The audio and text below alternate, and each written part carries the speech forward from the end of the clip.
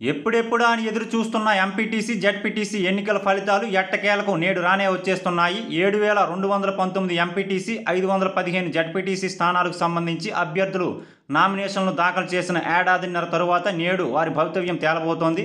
April ఎనిమిదవ తేదీన ఆయా స్థానాలకు జరిగిన పోలింగ్లో మొత్తం కోటి ఇరవై తొమ్మిది లక్షల యాభై ఐదు వేల తొమ్మిది వందల ఎనభై మంది ఓటర్లు తమ ఓటు హక్కు వినియోగించుకున్నారు.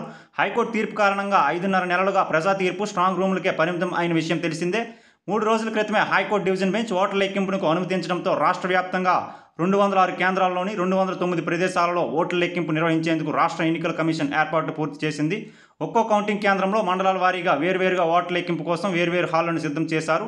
అయితే నేడు వెలువడబోతున్న ఈ ఎంపీటీసీ మరియు జడ్పీటీసీ స్థానాలను ప్రతి మండలంలో కూడా YSR Congress party clean sweep చేసే అవకాశాలు స్పష్టంగా కనిపిస్తున్నాయి.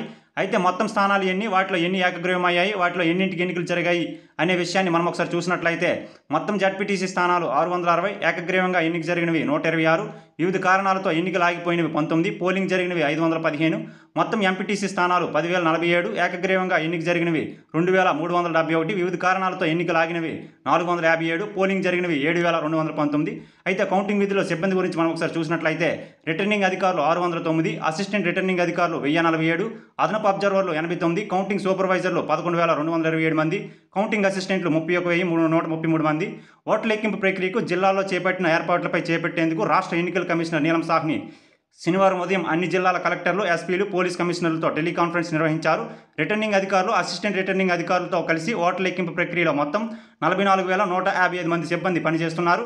ఎంపీటీసీ ఎన్నికలకు సంబంధించి మండలాల వారీగా ఒక్కో స్థానానికి ఒకటి చొప్పున ఏడు వేల రెండు వందల పంతొమ్మిది టేబుల్లో ఓట్ల లెక్కింపు జరుగుతుంది. ఐదు వందల పదిహేను జడ్పీటీసీ స్థానాల ఓట్ల లెక్కింపు కోసం వేరుగా నాలుగు వేల ఎనిమిది టేబుల్లను సిద్ధం చేశారు.